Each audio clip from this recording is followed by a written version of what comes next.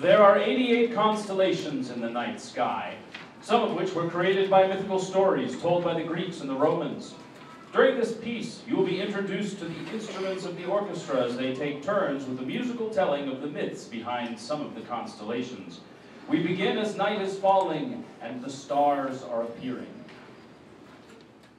Perseus, the hero, this son of Zeus was sent to kill Medusa, a creature so ugly that anyone who looked upon her was instantly turned to stone. In this movement, Perseus will be represented by the trumpet.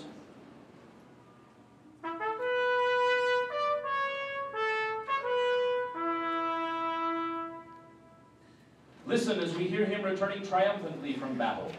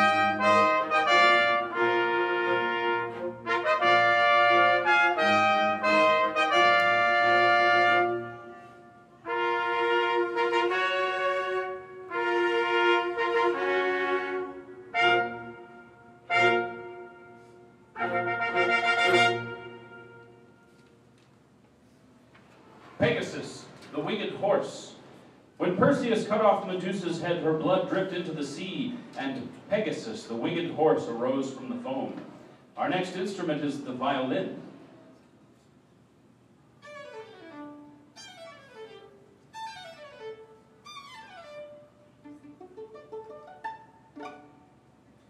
In this movement, the violin will portray Pegasus flying through the air as he carries Perseus back to home.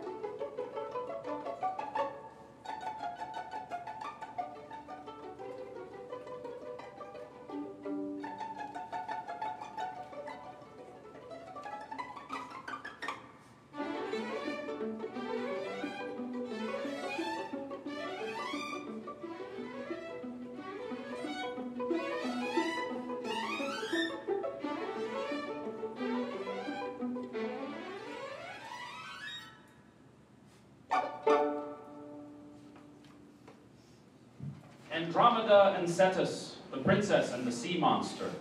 On his journey home, Perseus happened upon the princess Andromeda, who was chained to the cliffs at the edge of the sea and was about to be sacrificed to Cetus, a terrible sea monster. Struck by her beauty, Perseus decided to save Andromeda and take her hand in marriage. As Cetus was about to attack, Perseus removed Medusa's head from the bag, causing him to turn to stone and sink to the bottom of the sea. Here, Andromeda will be represented by the flute.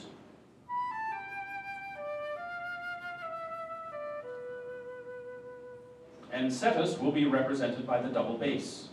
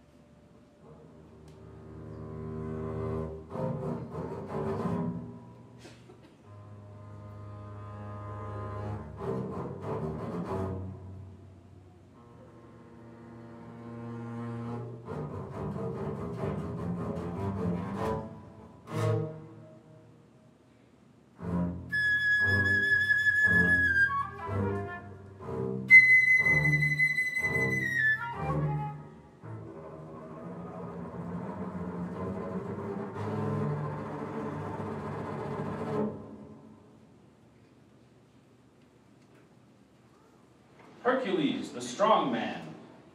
Even as a baby, this half-mortal son of Jupiter was stronger than any man alive.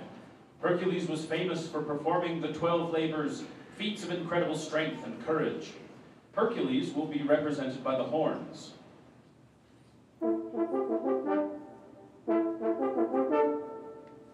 And the timpani drums.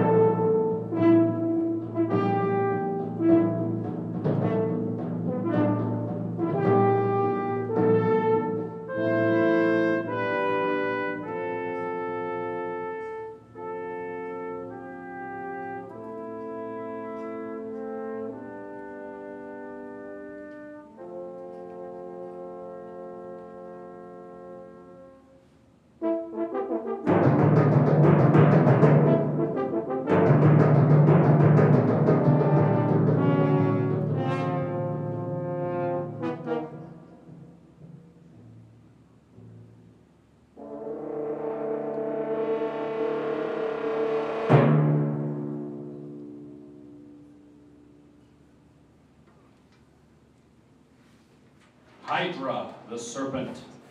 The second task of Hercules was to kill Hydra, a many-headed monster. For each head that Hercules cut off, two more grew in its place. Hercules killed the beast by cutting off the heads and then cauterizing the stumps before more heads could grow back. The last head was immortal, which he cut off and placed under a gigantic stone. Hydra will be represented by the viola,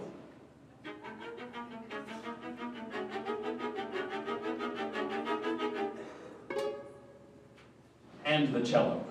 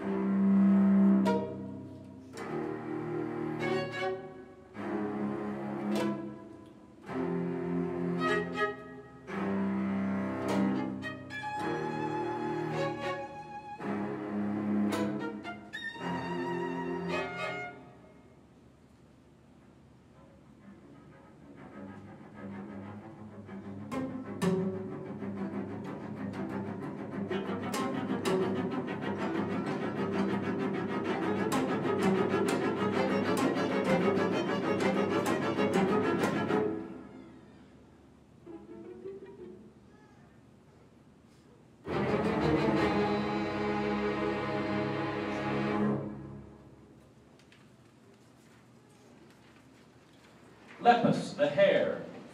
One of Orion's favorite types of prey was the hare. This is why Lepus can be found under the feet of Orion in the night sky. Listen as we hear the sound of the piccolo, imitating the leaps and bounds of Lepus scurrying away from the hunter.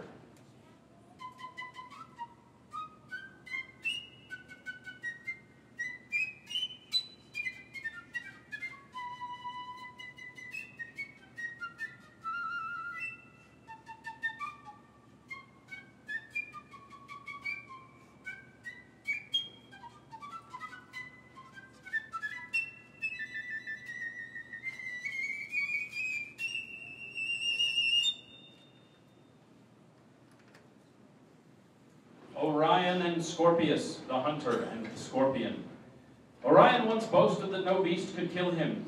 In order to teach Orion a lesson, the goddess Hera sent a scorpion to sting him. Orion fought the scorpion and was fatally stung before smashing it with his club. To honor their battle, they were placed in the sky, but on opposite sides, so they would never encounter one another again. In this movement, Orion will be represented by the horn, which we have previously heard, and the scorpion will be represented by the oboe.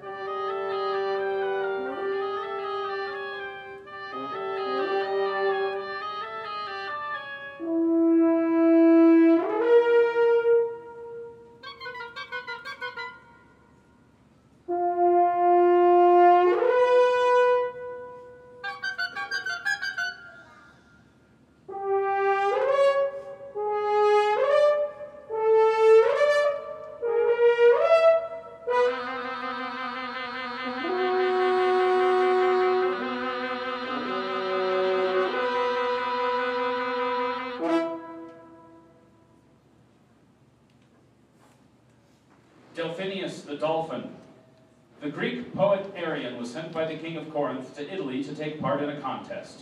After winning the prize, he chartered a ship home, but the ship's crew decided to throw him overboard in order to steal his treasure. As a last request, Arion asked to play a song on his lyre. The music charmed a dolphin that was passing by, and Arion threw himself into the sea. Thinking he was dead, the sailors went on to Corinth. But Arion, carried swiftly by the dolphin, reached Corinth first. When the sailors arrived, the king had them executed, and the poet's prize was returned to him. The gods placed the dolphin in the sky as a reward. Listen now to the sound of the dolphin moving through the water, represented here by the clarinet.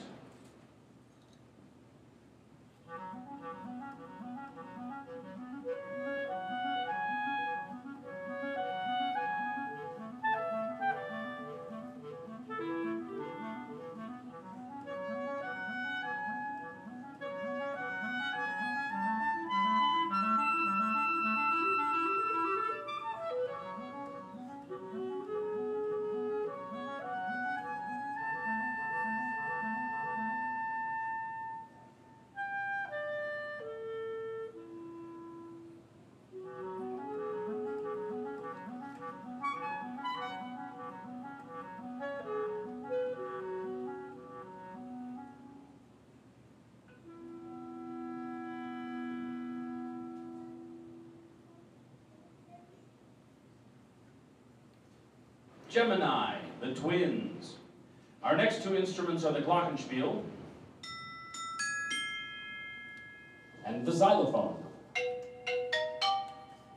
They will be representing Gemini, also known as the twins, Castor and Pollux. Pollux was immortal, and Castor was not. When Castor died, Pollux begged Zeus to let him die as well so that he could be with his brother. Since Pollux was immortal, this was impossible. Zeus decided to compromise and let the brothers spend half of their time in the underworld and half of their time with the gods. This is why they are seen above the horizon half the time and are beneath the horizon the other half.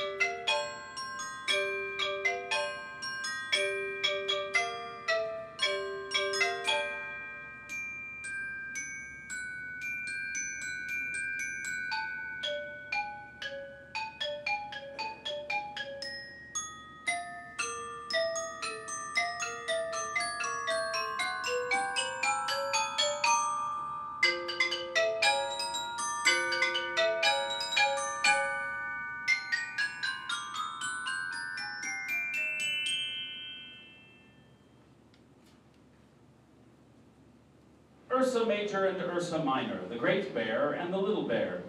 When Zeus fell in love with the maiden Callisto, his jealous wife, Hera, turned Callisto into a bear. Years later, Callisto's son Arctos was hunting bear in the forest and was about to shoot an arrow at his own mother. To save them, Zeus turned Arctos into a bear as well and placed both him and his mother in the heavens. Today we refer to the constellations Ursa Major and Ursa Minor as the Big Dipper and the Little Dipper. In this movement, the orchestra's two bassoons will portray the two bears.